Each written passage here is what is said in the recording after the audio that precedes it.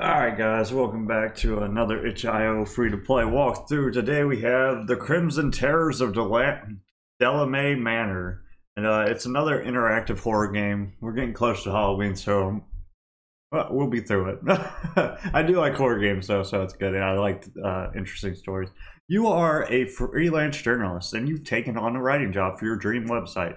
You've agreed to interview Thomas Delamay a reclusive millionaire that lives in a mansion that the locals affectionately call Delamay Manor.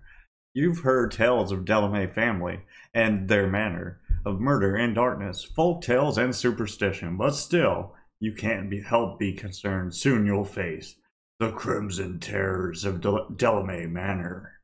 Oh. You are alone at the gate of Delamay Manor. I don't know if that's how it's pronounced. Alone on this des- deserted Michigan road, complete with thick forest and no additional lights to hold back the pending dusk. It will be dark soon, but hopefully you'll be inside Delamay Manor, enjoying a warm cup of coffee. You turn to look at the up at the enormous gate. It's black iron, unbent and completely free of rust. In the center of the gate is a glor- gloriously swirled capital D. D for these nuts. Oh, I'm such a five year old. Undoubtedly, a marking of the Delamay name. On either, on either side of the capital D are two fat cherubs, though their features are dark and indistinct. At least they're angels and not something else, you say. And with the history of the house and the rumors of what the Delamay Manor er, family have been up to over the last century, black magic and murder are enough to freak you out. Alas, it's time to head inside. After all, you've been sent to write a piece about Delamay Manor, and it's only getting darker. You walk to, up to the house intercom and hit the button. It dings, and you speak into it. Bing! Hello, I'm here to interview Thomas Delamay. The voice that comes out is smooth and quiet. Welcome. I'll be opening the gate to allow you access in a moment. But first, is there anyone else around? That's not a question. The road is deserted. No other cars have gone by since you've been outside, right? Look around just to double check. I don't want to lie to dude. You glance around. It's an empty road to your right, an empty road to your left, an empty road all night. The forest is overgrown and heavily shadowed. The wind picks up and blows some leaves down, sending the, them scratching across the pavement. But out there amongst the blue, brown, and yellow, there is nothing. A red shaped dart darts from behind a tree and vanishes. You blink and stare. What did you just see? You hold your breath to listen for a moment. Your heartbeat thumps in your ears. Nothing moves. It must have been your imagination. Seeing things, seeing bumps in the oncoming night. You turn back and around and hit the button again. I see nothing out here, sir. Just me and my trusty notebook. You release the button and the response comes through nearly instantly. Beep. That's good, that's good. Welcome to Delamay Manor. Please, do not dally about coming inside. The gar garden can be a little dangerous. Please meet us in the dark library. The dark library? Spooky, well, kind of. The gate swings inward and you step forward to see Delamay Manor in all its glory. It's a Gothic manor complete with soaring windows and window wide ga gables. What's a gable? All the window. I'm gonna look up what a gable is. I need to know. Inquiring minds want to know what a gable is. What is a gables? Is it a gobbles? The part of the wall that encloses at the end of a pitched roof. Interesting. Ah. Gablerific. All the windows are dark and likely closed up with heavy curtains. The house is painted the dark crimson, darkest crimson you've ever seen, to such an enormous, ma enormous manor painted such an odd color. You look ev over everything as you walk about the stone path. The gables are covered in red vertibird. Ver vertibirds? What is a vertibird? We're learning all kinds of things. What is a vertibird? Board. Vergibird. Barge board, probably from medieval Latin bargus or barcus, or scaffold and not is a board fastened to the projecting gables of a roof. Oh, I am learning some architectural heavy stuff here. Oh, let's see. They are sharp enough to be impaled upon. From the ground, it's hard to see, but you can just make out one of the out more of those cursed cherubs are everywhere, not just on verge of birds. They are carved into the top of the balcony columns, portrayed in reliefs below each of the wide windows. It's terrible and hideous, and you hate it. I hate it. He hates it! This house has life. Unholy, unnatural life. It should be burned to the ground. The ashes raised. You shudder to think of the flames climbing high, clawing at the stars. What is wrong with my dude? He does not like this house. As you reach the front steps, the boards groaning under your weight, you hear a whisper behind you. It's faint and sounds like words, but you're not sure. Is it coming from the garden bushes? Turn to look. Turn around, expecting to see nothing. Instead, you are greeted by a tall man in a red suit. No, red is wrong. It's crimson. The same crimson that so horribly paints Delamay Manor. He's slender. He is slender, and he is also wearing a top hat. From the brim of the hat to his shoes, he is entirely dressed in that same horrible, terrible color. He grins and waves one long hand. Come now, guests must explore the garden. Come, see my statues and my friendly, friendly flora. The crimson suited man spins on his heel and struts away, his skinny arms pumping wildly. You watch him go until he vanishes behind a wall covered in flowers. Must be the garden. Your trip here has gone from odd to unreal, but now you're torn. The voice of the over the intercom says to come straight into the house and to avoid the garden, but this oddly dressed man wants you to follow him. What's the move here? Let's play it right the first time. Ignore the weirdo. Ignore the weirdo. Let's knock on the door. We'll do it wrong the second time. We'll do all the wrong answers. When you go to knock on the door, the swing it swings open with a sinister creak. You let your hand fall down to your sides. Looks like they really were expecting you. You step inside. The warmth of the manther falls over you. A staircase rises up triumphantly to your left. On your far right, in some kind of drawing room, a fire roars. Roar. From far off, you can hear the muffled sound of classical music. The house is breathtaking. Original wood, sconces. What is a sconce? What are these things? What are these words? Why are you using words? Sconces are for candles. Oh, it's the thing that they hang off the wall with. Interesting. Good flickering with fresh flame, tapestries hanging, portraying medieval royalty in all their glory. It's everything you could have dreamed of. The hallway in front of you is long and narrow. It leads to a closed door. On it, you can barely make out the word Black Library. Bingo, you say. Though you want to explore the rest of the house, you don't want to be rude. Maybe after the interview, you can ask for a tour. The creepy red crimson suited butler can lead you around and be creepy some more. You walk down the hallways, your shoes echoing on the hard floors, hardwood floors. About midway down, something catches your eyes. Paintings. They are gorgeous. Oil paintings, each laid out in the detailed frames. There are three in total, each masterfully done.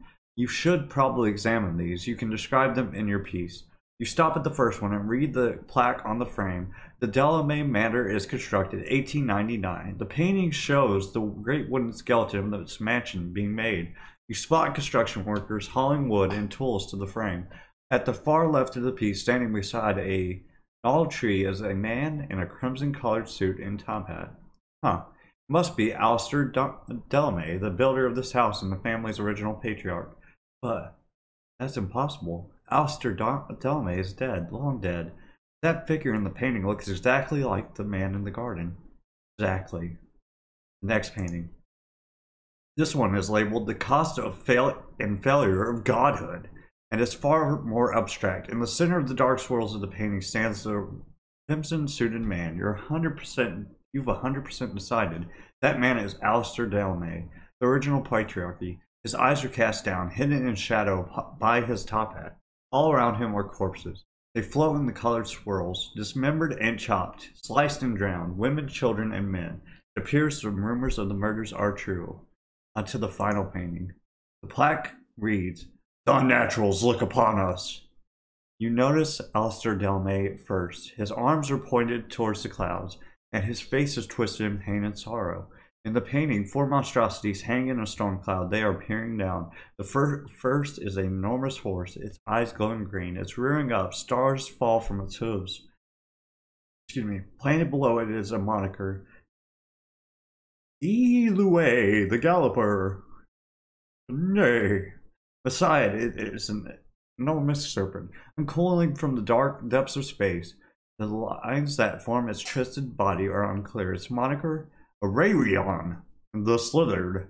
The next is a bear, but everything about it is wrong. The eyes are too human, too real, and where its paws should be are two slender hands, long and wrinkled. It was as if someone had glued human hands onto the beast. At the base of the bear's bulk, the artist painted these words Borlean, the prime, and the final form. Someone has scratched it out.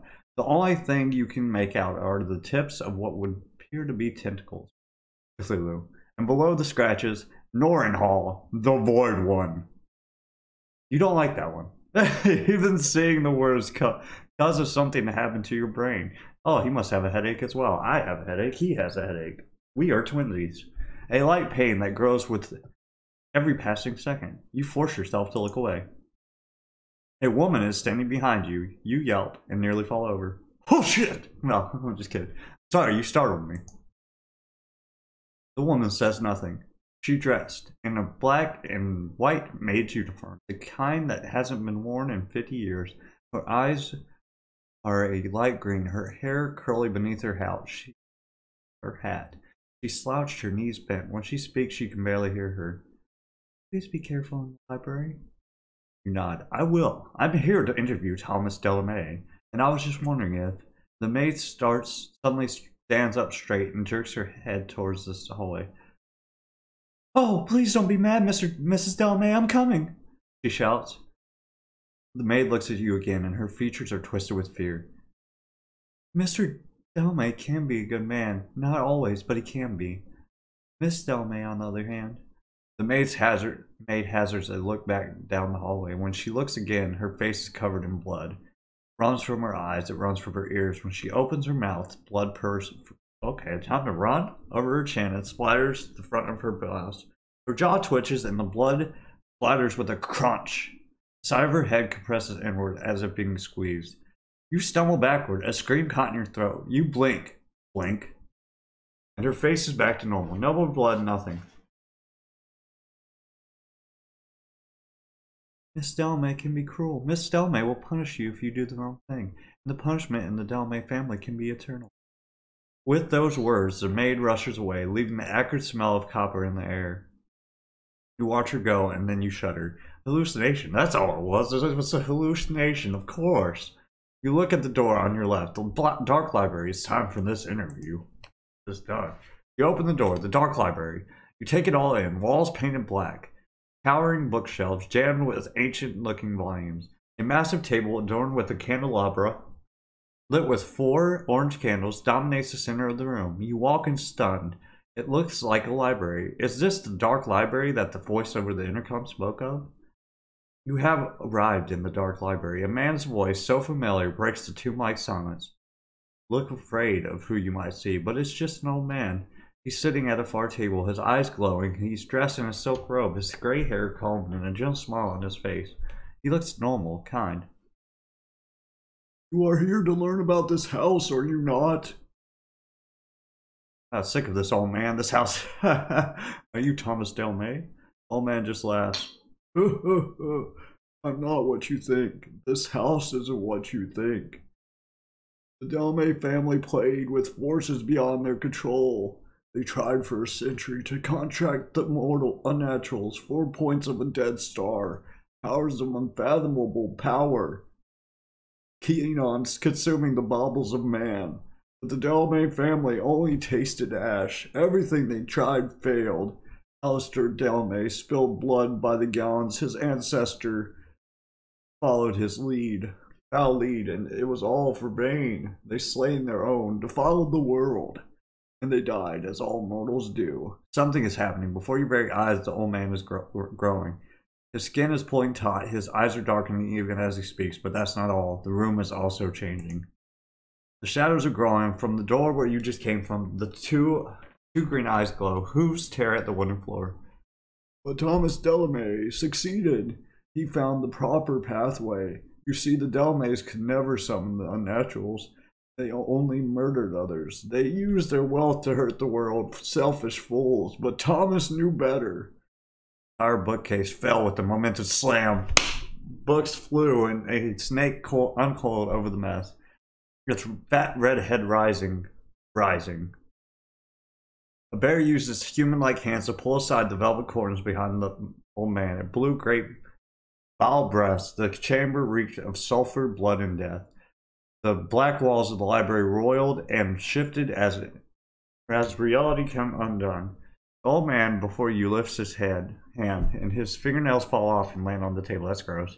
A chunk of his cheek falls wetly after it. Ooh, he may have once been Thomas Delamain, but no longer. Thomas knew that evil comes from within, so he served as the door, as the vessel. With that final word, word the old man's skull exploded. Great tentacles lashed at the ceiling. Eyes blink and spin. Galaxies contained within, as the great monstrosity ripped itself from the vessel known named Thomas Delamain. You realize what has happened. The unnaturals have come. They close in, in unholy forms tearing at the reality of the house. Your mind is coming undone. Fear has paralyzed you with two Z's. You've seen through the veil into the darkness beyond, but you, yo, can see it in the impossible gaze of the Void One.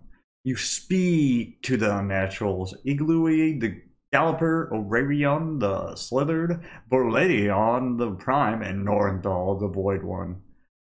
Northal! Your voice is so very quiet. Why are you doing this? The unnaturals twist and stare. Can they see you? Why have they come? Does it matter?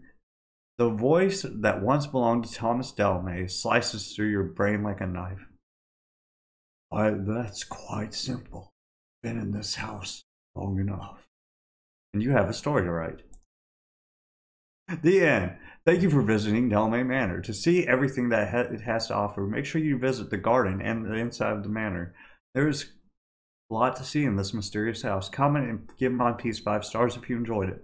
And if you love my fiction, you can see all my published pieces at and more on my website. Logan Oblee Logan Noble Author. Dot com. I was about to say Logan, Logan Noble Lee. I hope you had a happy, had slash have a happy Halloween. Logan Noble. Let's check the other endings.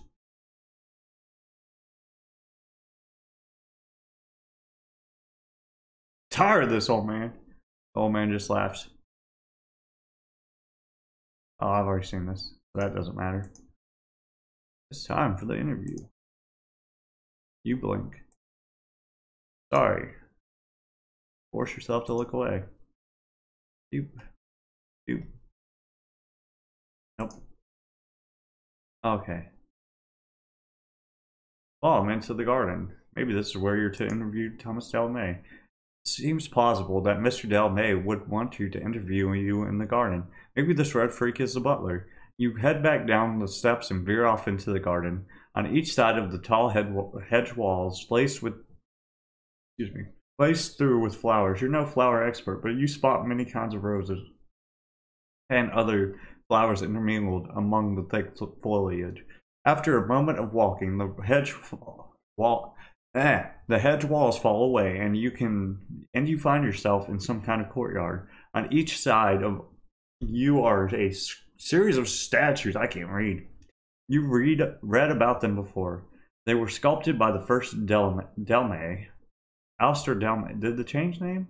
Did the name change? In the late 1800s.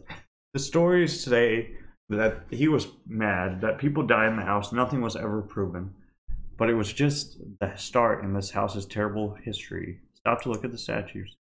Describing those statues will make good fluff for your article. You step up to one, to the first one. It's an enormous horse. The eyes glowing green, it's rearing up, and the bottom of its exposed hooves are worn with age and exposure to the air. A plaque at the foot of the statue reads, Illaway, the Galloper. The statue beside it is an enormous serpent. Its body is coiled up and it piled so that it stands tall. You can see its fat head, tongue out, staring at the very spot which you are standing in. Wavering lines run its length. The bronze plaque at the bottom of the statue reads, Aurelion, the Slithered. The third statue is a tyrannical bear Standing tall on its hind legs, and its paws are long and slender, it's unnatural, and you briefly wonder if a mistake was made when this was carved. The bear's jaw is closed, but you shudder to imagine how long its teeth would be. Long, sharp, dripping blood, dripping blood. This plaque reads Verlaine the Prime. The final statue, you rub your at your eyes. When you look at it, your vision swims. A terrible pain stabs through your head. Look at it. You blink away and try again. Your head feels like it's ready to split. You catch certain fe features, tentacles, fangs, and eye. But the pain causes you to cry out and look down. You can't do it. Something about this statue is wrong. Wrong in a way that you've never experienced. Maybe you have a tumor. Maybe you have. Look at it! You scream and your gaze is jerked up, and now you must see it. It's taller than the rest of the statue and it's only growing. The shadow crawls over you, causing sweat to rise across your body. Your body shudders and you resist the urge to lay down. You resist the urge to just die at the foot of the statue. This one has no plaque, but it doesn't need one. You already know its name. You know its true name. Nordahl the Void One. Please do not linger. You startle and realize that you've been under a trance. What happened? Who? You slow, turn slowly and spot the crimson suited man. He's waiting for you. He's still smiling, but you can't see his eyes in the shadow of the top of his hat. Don't worry about that statue. He's gone away now. Just hope you don't see him again soon. Another vile smile. You look back over your shoulder. There's nothing there, no statue. You look around the garden, feeling dazed. The other statues are still there. What are they? Fantasy creatures? Gods? Demons? Does it matter? The crimson suited man is walking further down the path. You press your lips together and follow him. The path opens up again into another courtyard. This time it's utterly dominated by one thing an enormous stone tomb. It's free of all markings save for one word carved above the stone door Delamain. The crimson suited man steps up beside the tomb. Right this way. Don't go peeking at my darlings. I've locked them away for safekeeping. Don't want you joining them. The crimson suited man winks. Now the dark library awaits. You know you should leave. You should run from the grounds. Flee for the city and your home. The story is not worth this, but your feet are moving. The shadow of the tomb is there, and you are descending. Candles light the way. Cobwebs hang from the pools of shadow. Stone steps carry you down further and further. You think back to the statues in the garden, the fourth statue growing large in the recesses of your brain. As you walk, candles light the bones of Delamain's past. Skulls, some small, some large, some grinning. All grinning. But you continue to walk until you see a light ahead, faint but growing brighter. Go to it. You open the door, the dark library. You take it all in, walls painted black, towering bookshelves jammed with ancient looking volumes, a massive table adorned with a candelabra.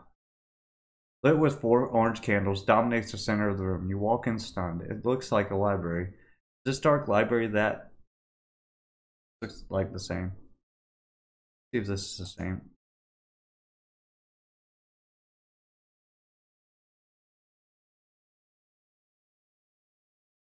Okay, so that ends the same. It's just a different way. Like you see different things. Let me see if the other things can be different options.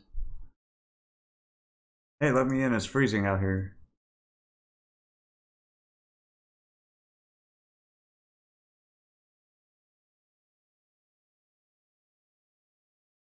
Okay, so the other options don't really matter, it doesn't seem.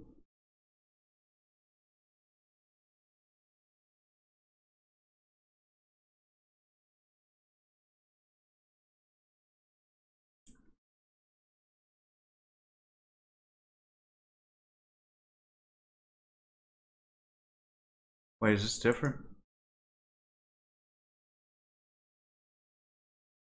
Alright guys, I think that's the full game. But if you like videos like these, please like and subscribe. This game was pretty good. I like uh, reading about Cthulhu-esque monsters. Um, kind of didn't. I don't know. There wasn't much to it really, but it was interesting. It was actually really interesting. I was like pretty um wondering what was going to happen at the end, but it's really abrupt. It seems like it just. uh I didn't expect it to come to an end so quickly. But yeah.